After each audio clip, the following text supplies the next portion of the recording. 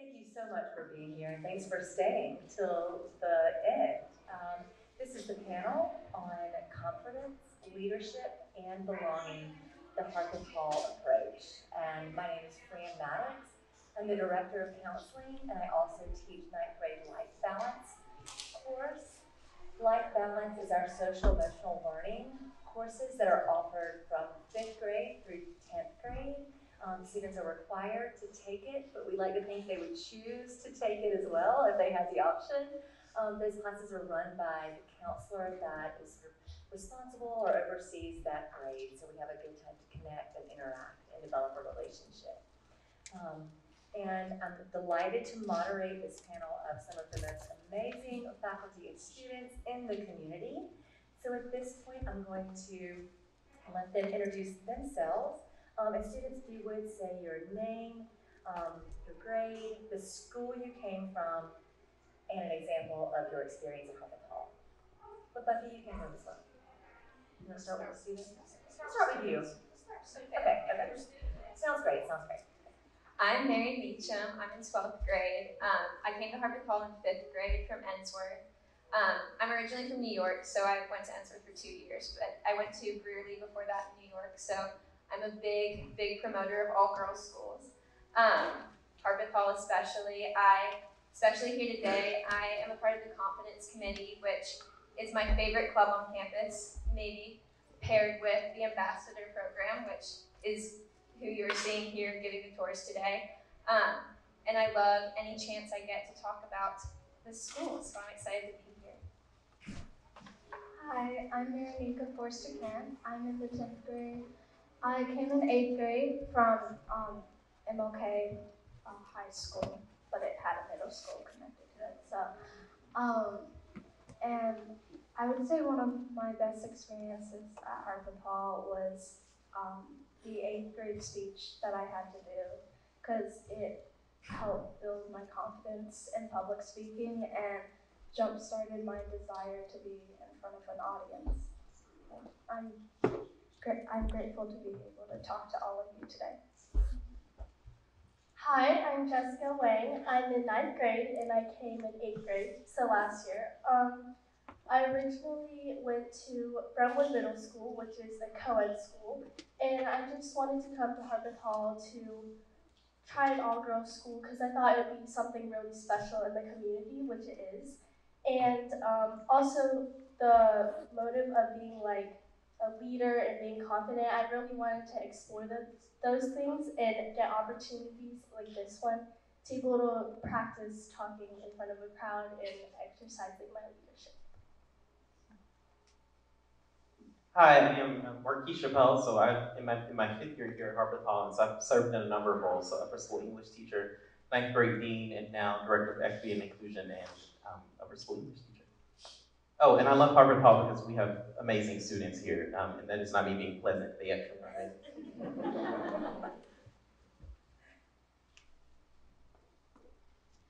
Hi everyone, I'm Buffy Baker, and I came to Harpeth Hall, I did, in seventh grade, and that was a decision by my parents at the time.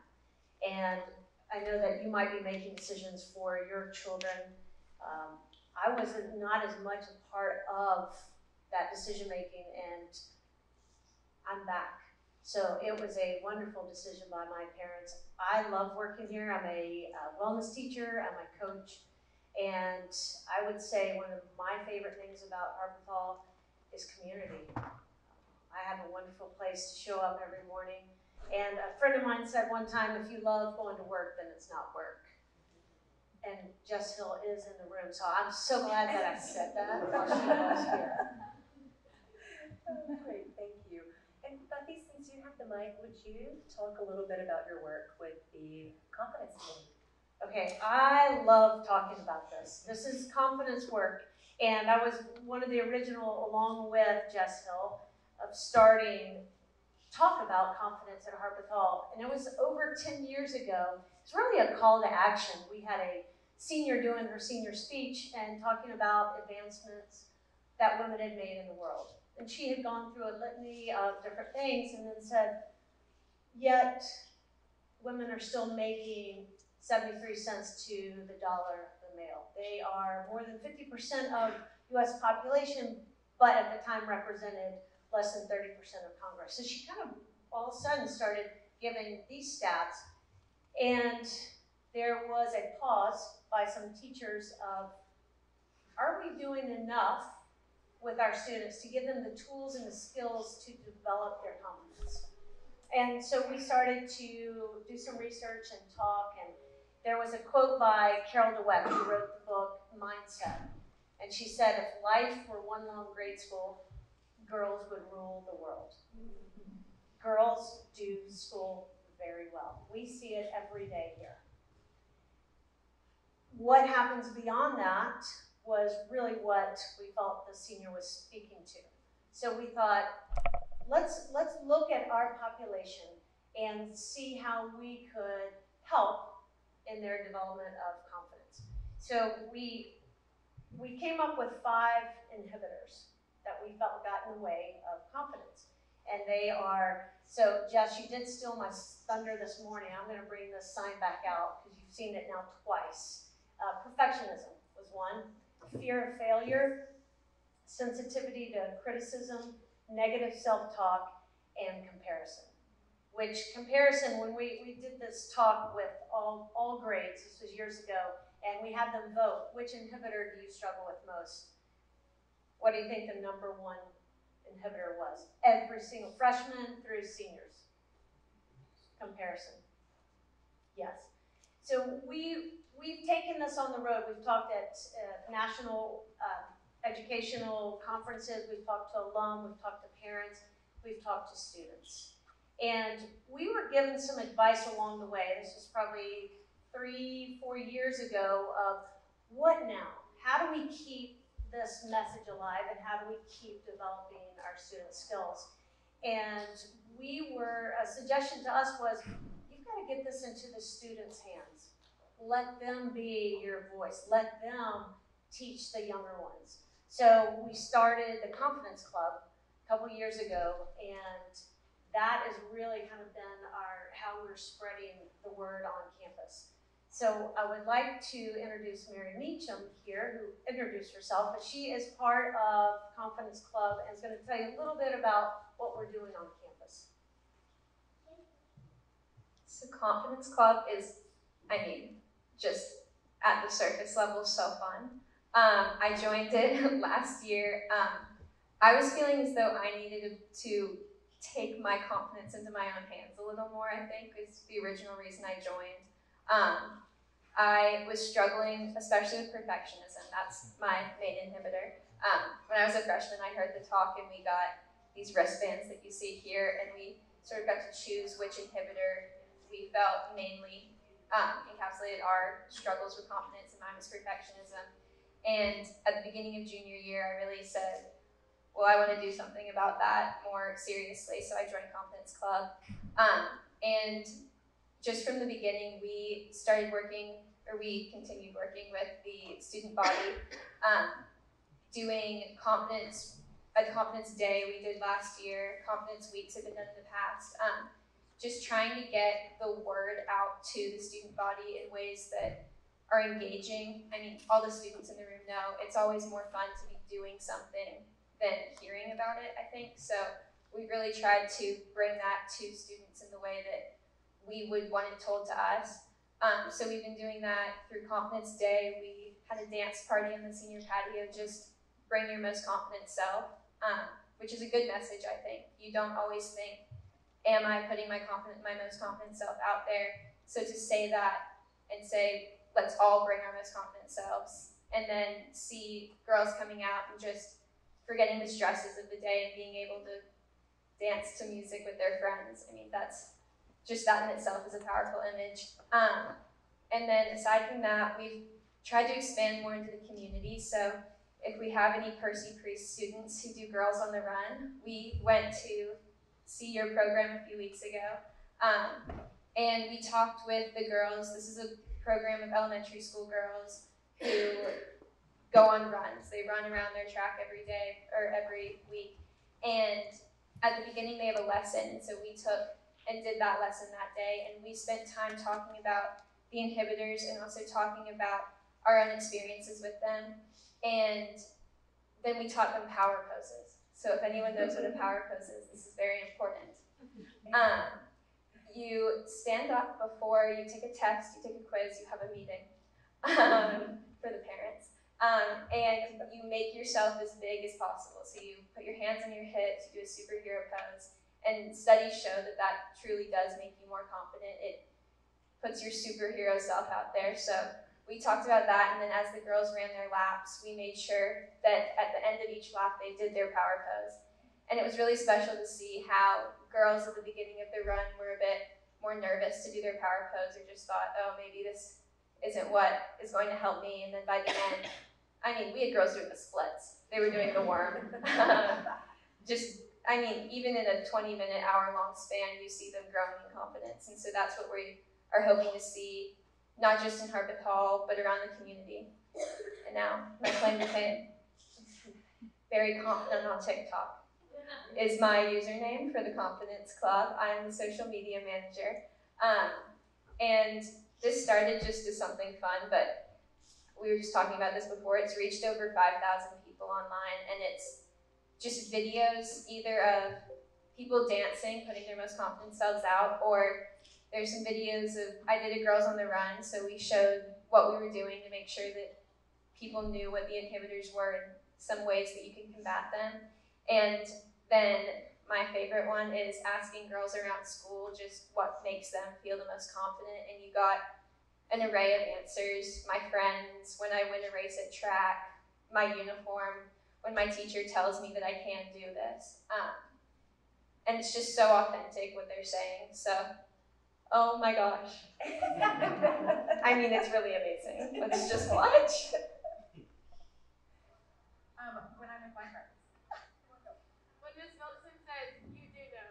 I'm such. TikToks. When Melanie gives me compliments. Oh. Um, when people lift me up.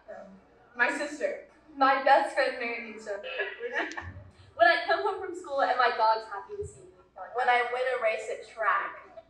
Wearing comfortable clothes. My teammates make me confident. My friend, Very confident. Um, when I'm with my friends. So thank you. But yes, I mean, it's fun and it's silly, but at the same time, I have an eighth grade sister whose friends come up to me and say, I didn't know that perfectionism was an inhibitor to confidence, and now I do. So we're just trying to get the word out there and having a good time doing it, which is important. Thank you so much. And Marquis, would you do us the pleasure of sharing a little bit about your program? All right, so as Director of Equity and Inclusion, the, the first thing we want to do at Harpeth Hall is clarify what that means. So when you go, every different community has a different conceptualization of what diversity, equity, inclusion means. And so diversity expands beyond race. So that's not just black and white. So thinking about class, thinking about gender, thinking about neurodiversity, so on and so forth. Um, the equity piece, we're a question of access. And so when we think about our program, so Winterim program and all the field trips that we have, are we creating opportunities for students who may not be able to afford those programs to access them? And then when we think about inclusion and the belonging, that's on a continuum. And so what we want with the DEI work is the reason it's particularly important to schools is when we think about the social and politically polarized world in which we are navigating and our students are navigating, and this call out culture. We want to give our students the tools, tools to move away from call out culture to call in culture. And so instead of counseling each other, how are we navigating conversations? How are you speaking with the person who you may disagree with? And so navigating difference, navigating um, how are we living in community? And so what we want for our diversity, equity, inclusion work is for that to be student led. And so in the middle school, there's a group called Better Together that is totally voluntary. And so the girls who do Better Together, they meet during lunch and recess once um, every two weeks. And so they design programming for the middle school. And so they recently did a program based on the question of kindness. And so when given the choice to be right or be kind, how are we choosing kindness? And so they let that using some videos from the Disney movie Encanto in the middle school. Um, and in the upper school, our students, they, they are a lot more, um, as you can imagine, independent. And so they do a lot of campus programming. So right now they're planning the Spring Harpeth Hall International Film Festival, which will be open to the community. Um, and so those two groups lead the work. And so when I think about DEI, I often characterize this aspect of my job as the coach. And so really just supporting the students and leading the work that they would like to, um, of which they'd like to be a part of. Great. Um, I think we have time for questions. Um, what questions do you have about any of these programs, about leadership, confidence, um, and belonging at Harpeth Hall? Or about the student's experience?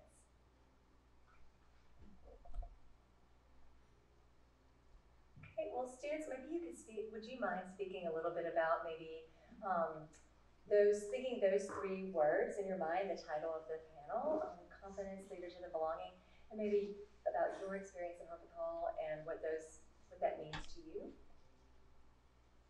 Um, well, focusing on the word belonging, I came to Harpeth Hall in eighth grade, which is kind of a weird year to come in because everyone's have already got their own friends and you're kind of just you kind of just feel stuck. You don't know where to go.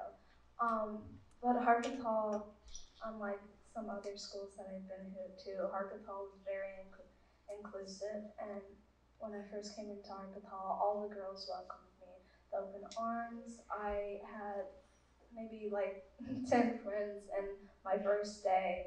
Um, and it's the friend group, there's no like cliques, you know? I think everyone, everyone is friends, everyone's family. You can go up to anyone and ask a question. There's no, you know, drama or anything. Um, so Harpeth, Harpeth Hall really, you know, illuminates belonging. Um, I think that the confidence, leadership, and belonging here at Harpeth Hall all kind of just go together. Sorry.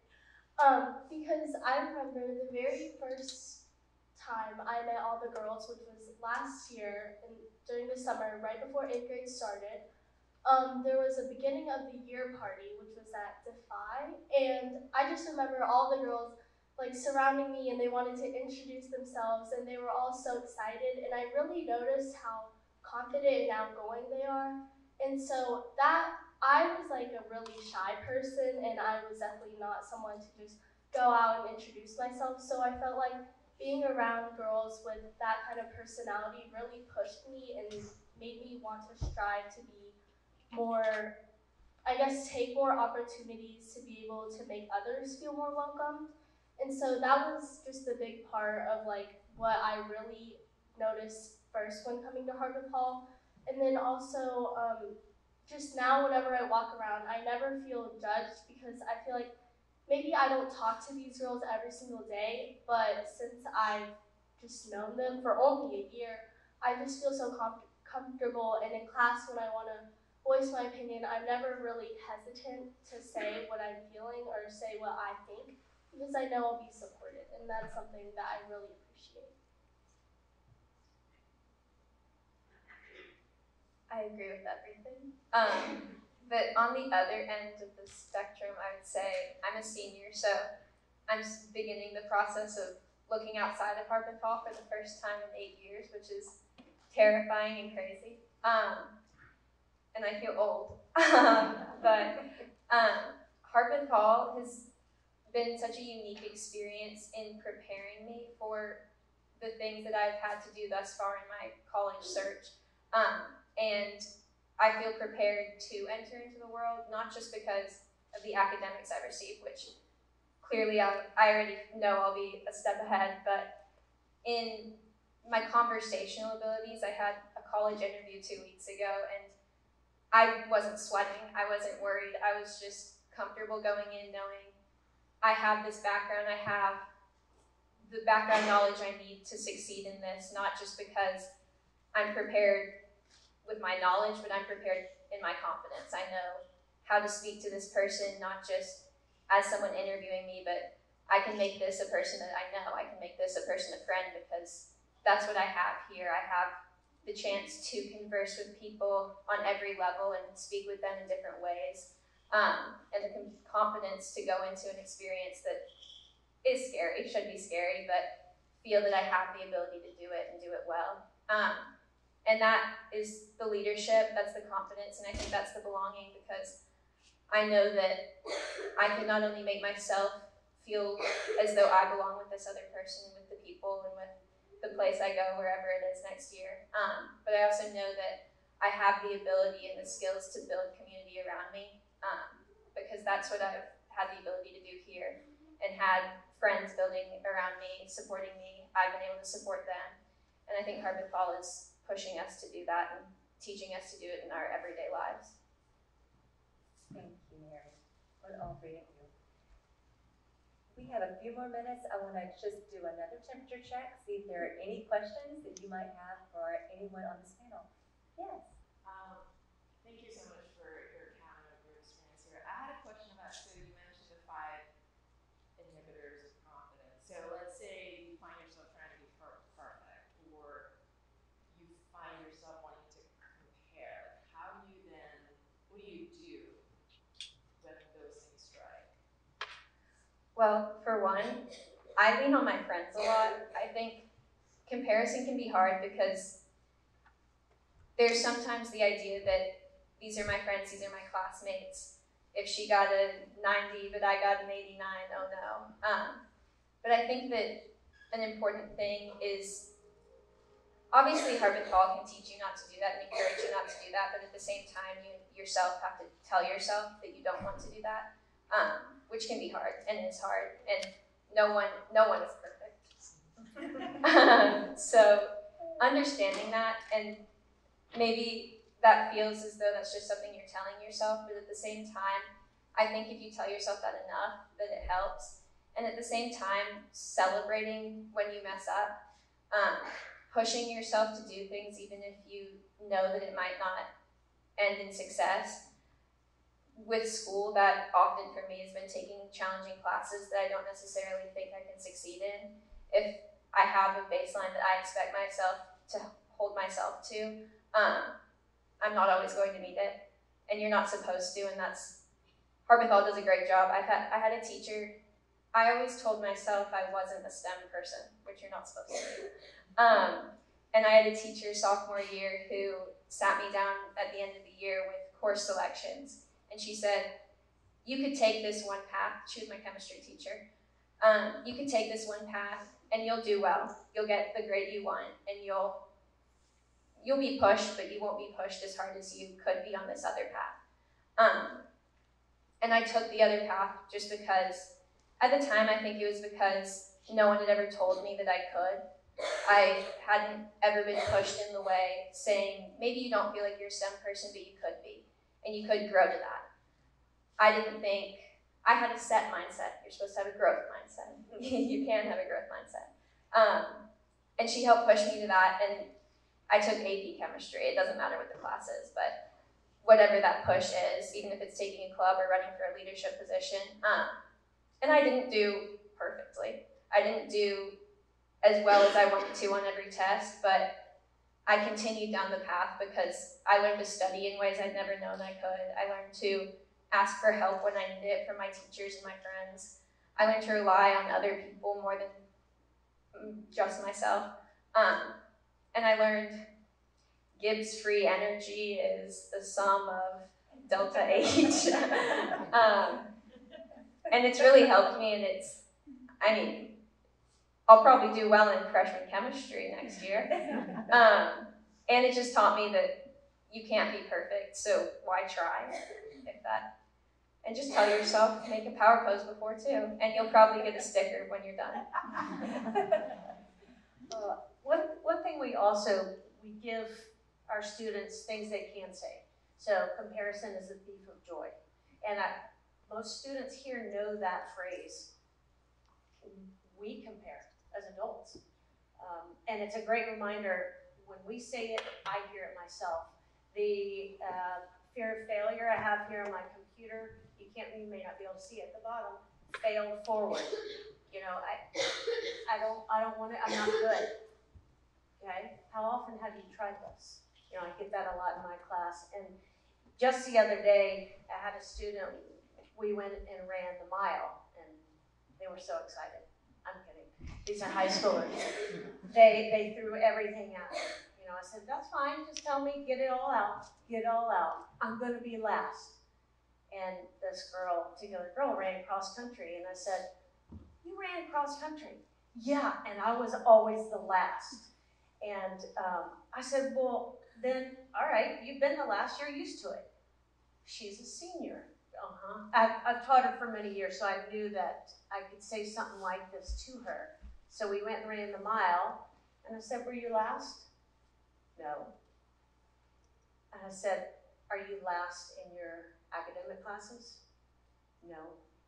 I said, are there students in your class that work so hard to do well, that don't do as well as you? Yes.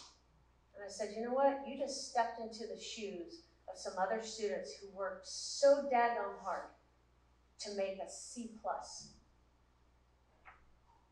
And she said, you know, I almost quit cross country this year. She's done it. She did it for four years, and she's a senior. She goes, I came this close.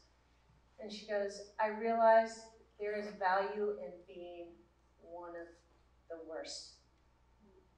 And she would not have ever said that as a freshman, sophomore, junior. I was shocked she said as a senior. And she saw value in that. We have to help, yes, the, the growth with that, and she stuck with it. And I said, I know when I said that, that probably really burned you up. She's like, I say it though. And so we talk, you know, there's there's uh, moments, what I'm getting to is it comes out all the time. And as teachers, we are trying to curb them and not say I'm immune to it, because I'm not. I, I deal with all of these. And so that's the beauty in, the work we're doing is, God, I wish this was at Harpeth Hall when I was here. And I just want to build on that, Buffy. I, one, I want to echo everything Buffy said, but the research is clear that when you are teaching students, particularly girls, at a high performing school such as Harpeth Hall, they are a lot more prone to these, to giving into these inhibitors. And so, from a curricular and pedagogical standpoint, us as the faculty have to be clear in the way we structure the curriculum, the way we structure courses, the way we structure feedback to ensure that girls are able to confront these inhibitors and, and progress forward. For example, so traditional models of giving students feedback, a student submits a paper, a math test to you, you mark the things that are incorrect, you give that back to the student. Great, so that's been the traditional model. But if we're thinking about helping students confront these inhibitors, that feedback should look a lot more balanced. So yes, mark all the, the things that they did incorrectly and mark the things they did well. So the student should walk away from the feedback with a clear idea of areas of growth and particular areas of success. I love that. And the last thing I'll say to respond to your question too is we incorporate several strategies into the life balance curriculum that line up with counterbalancing these inhibitors. So for example, in life balance in ninth grade, we just discussed automatic thoughts and ways to challenge and weigh those, look for the evidence in those, and um, how to kind of flip them around to a genuine but maybe positive solution focused way. That's just one example. Um, okay, we're a little past time. I apologize. Thank you so much for your time. Thanks so much, everyone on the panel as well.